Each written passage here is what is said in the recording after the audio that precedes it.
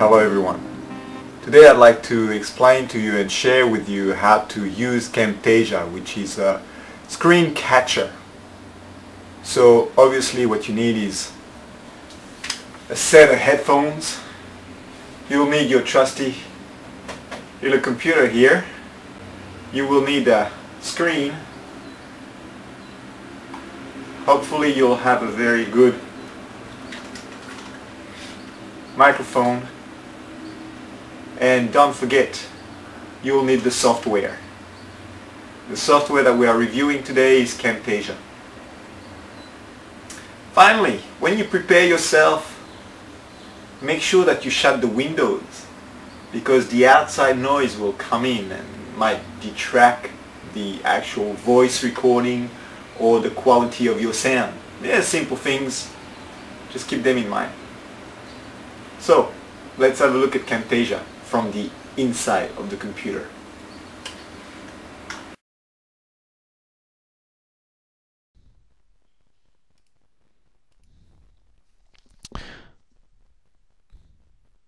The content that we will be covering today are the equipment, recording and importing, effects and saving, blogging and question time.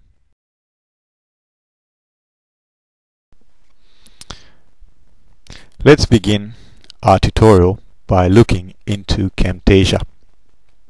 First go to the Start button, go into the Program section, go to Camtasia Studio 2. In the Application section you will see a variety of the editor, the menu maker, the player, but what we are interested in today is Camtasia Recorder. As you can see from the screen, this little flashing icon indicates that we are currently recording.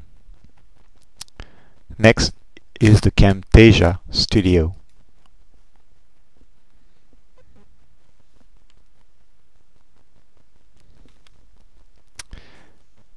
Camtasia will offer us a variety of options. One is to import video, one is to import audio, and the other is to import images. We are now ready to begin editing a tutorial session with Camtasia Studio. We already have a movie file here and quickly I will import a picture from my files. And here it is.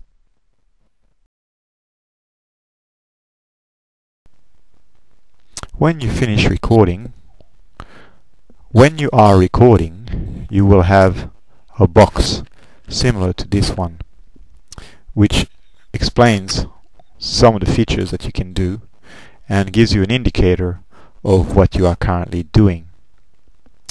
Once you've finished your film, you can click on Stop.